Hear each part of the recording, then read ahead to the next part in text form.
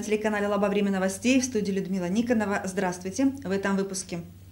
В честь Дня строителя состоялось чествование лучших представителей профессии. Герои праздника принимали поздравления в городском доме культуры. Санитарная пятница. На этой неделе работы продолжились в сквере на улице Турчанинова. И все ближе к финалу. Спонсор квест-викторины вручил призы победителям второго этапа.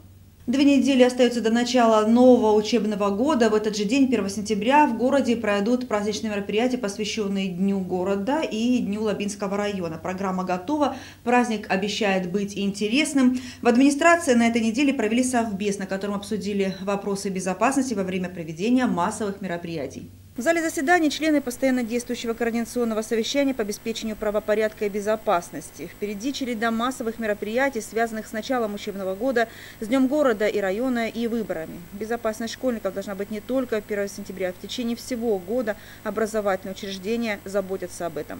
В день 1 сентября будет усилен пропускной и внутриобъектовый режим на территориях и в зданиях образовательных организаций во время как э, первого звонка, так и вообще на период всего учебного года. Также нами э, подписаны на данный момент э, со всеми 30 образовательными организациями, школами, имеется в виду договора на охрану специализированной организации на частную охранную деятельность, у которой есть лицензия, это казачья дружина город Курганинск, и э, в том числе еще на Центр детского творчества. Повышенное внимание к правопорядку и общественной безопасности будет во время празднования Дня города и района. Все ответственные отчитались о готовности. Хотел бы поблагодарить и органы прокуратуры, и отдел внутренних дел, и все службы, ведомства, которые здесь присутствуют, за качественное такое взаимопонимание и сотрудничество. Я уверен, в таком ключе, в единой команде, в команде нашего губернатора и президента – мы обязательно все удержим, сделаем и не дадим повода никому расшатать здесь лодку, какую-то ситуацию. Всех благодарю за участие и призываю в таком же ключе отработать и День знаний, и праздничные мероприятия, и выборную кампанию, и многие-многие другие цели, задачи выполнить, которые у нас еще предстоят в этом году. Также на Совбезе рассмотрели вопросы дорожной и пожарной безопасности, подготовку к выборам, которые пройдут в единый день голосования 9 сентября. Обсудили мероприятия по противодействию терроризму и другие вопросы. Людмила Никонова, Георгий Сопов, телекомпания «Лаба». В Лабинске вовсю готовятся к празднику. В санитарную пятницу работа кипела на улице Турчининова. Сквер, который находится на въезде в город, постепенно обретает новый вид. Работы по благоустройству сквера практически подходят к концу. Тротуар заасфальтирован. В эту пятницу там приводили в порядок деревья.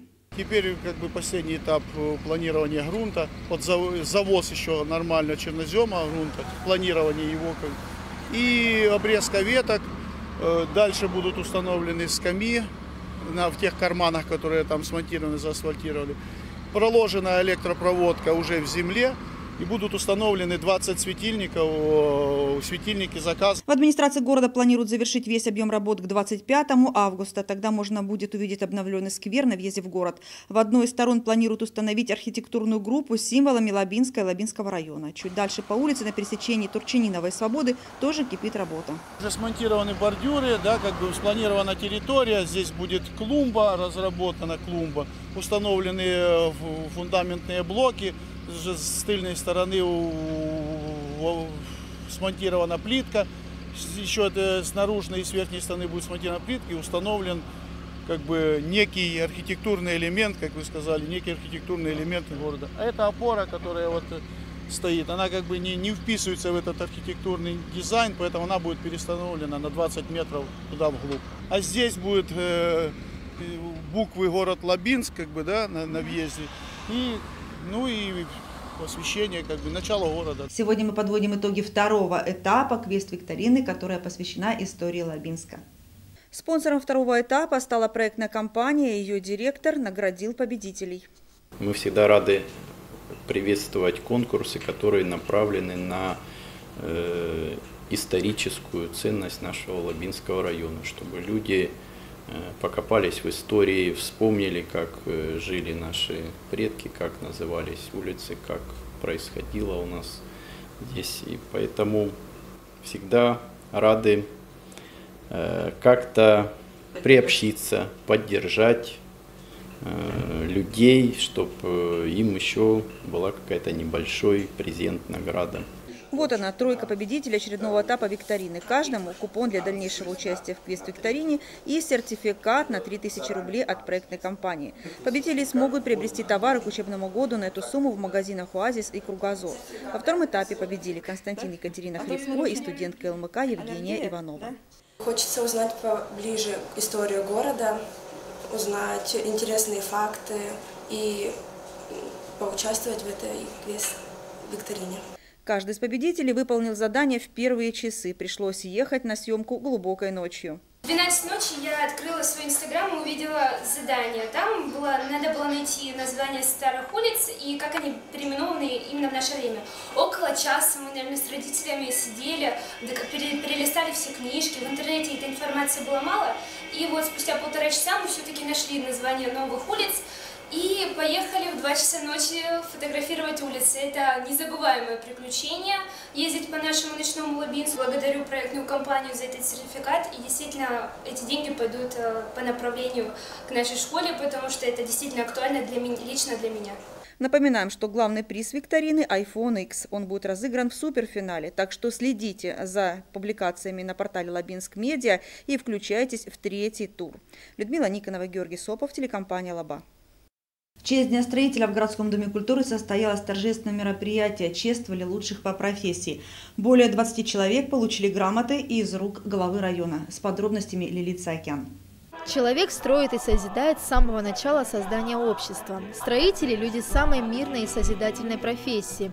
Однако труд этот тяжел и ответственен, но есть в августе такой день, когда все строители могут отложить в сторону инструмент, все свои дела, чтобы отдохнуть и принять поздравления. Вам я хочу пожелать здоровья, благополучия, чтобы, несмотря на занятость, постоянные где-то и нервные срывы, потому что любая стройка связана с какими-то сроками, с качеством, с заказчиком, с исполнителем, с надзирающими органами, это, конечно, отнимает много времени и нервов. Я хочу пожелать, чтобы у вас как можно больше было спокойных дней и возможности проводить время с близкими, с родными, своими людьми. Успехов, удачи, с праздником, дорогие друзья! В этот день чествовали самых лучших представителей строительных организаций Лабинского района. И они, в свою очередь, поздравили своих коллег. Профессия это довольно-таки такая тяжелая. Вот. Мне хочется сказать, пожелать в этот день строителям, всем строителям, вот, и успехов в работе, вот, э, благополучия, материального достатка и крепкого здоровья. Главное, это как бы, чтобы работа была. Поэтому хочу пожелать всем э, коллегам э, побольше объемов, хорошей погоды и э, как бы, грамотных сотрудников. Лилит Саакян, Игорь Исаков, телекомпания «Лаба». Купив строительные или отделочные материалы в строительном центре «Русский лес», можно стать обладателем велосипеда, электроинструмента, телевизора и даже автомобиля. Подробности в нашем сюжете на правах рекламы. Строительный центр «Русский лес» – это отделочные и кровельные материалы, поликарбонат, металлопрокат, электротовары, пиломатериалы. Придя в одно место, можно купить все для строительства целого дома. А если понадобится, то инструменты тоже можно приобрести здесь. Наш центр «Русский лес» специализируется на металлопрокате, то есть это труба профильная, также э, доска обрезная, э, поликарбонат, профнастил, в общем, ну, всевозможные инструменты. Этот центр уже давно полюбили те, кто занимаются ремонтными и строительными работами. О преимуществах, акциях и сервисе говорят постоянные покупатели. Во-первых, большой выбор продукции, строительных материалов, я имею в виду, инструменты, большой выбор. Ну, в принципе, цена приемлемая. И хорошее обслуживание, молодые продавцы. Это привлекает. Не первый раз обращаюсь в этот центр. Мне очень нравится здесь. И персонал нравится, и обслуживание нравится. Э, материал, который они везут, э, в частности, вот по металлу, э, металлопрокату я обращаюсь к ним. То есть Северсталь, да, хороший материал. И вообще нравится доставка бесплатная. Не только бесплатная доставка по городу, но и за помощь в расчете необходимого материала тоже платить не придется. Кроме того, помогут разрезать по заданным размерам трубы и погрузить, если кто-то самостоятельно готов увести покупку. А за таким сервисом возвращаются вновь и вновь. Качество обслуживания нас очень даже устраивает. Мне нравится, что здесь очень оперативно обслуживают и товар очень хорошего качества. Я имею в виду металл всегда у них э, чистенький, не заржавевший, поскольку он находится под крышей. То есть мне нравится здесь все. Поэтому я здесь и постоянный покупатель. Для всех своих покупателей «Русский лес» приготовил сюрприз. 4 мая состоится розыгрыш полезных призов, главный из которых уже стоит в торговом зале. Совершая покупку на, на 3000 рублей любого товара, вот, мы выдаем купон. Эти купоны, ну, также можно еще будет получать. Это продлится у нас до 4 мая. 4 мая будет розыгрыш призов. Призы будут всевозможные, ну, от электроинструмента, там, велосипеда, там. И главным нашим призом будет э, Лада Гранта. Купоны для розыгрыша начали выдавать уже 15 августа. Главное, чтобы чек был не менее 3000 рублей. Следует отметить, что в строительном центре «Русский лес» есть система скидок. Покупателям предложат дисконтные карты, а расплатиться за товар можно в том числе по безналичным расчетам. Правила проведения розыгрыша призов необходимо уточнить у организаторов. Адрес Лабинск, улица Владимирская, 171. Людмила Никонова, Георгий Сопов, телекомпания «Лаба». Этот выпуск новостей подошел к концу. Всего вам доброго. До свидания.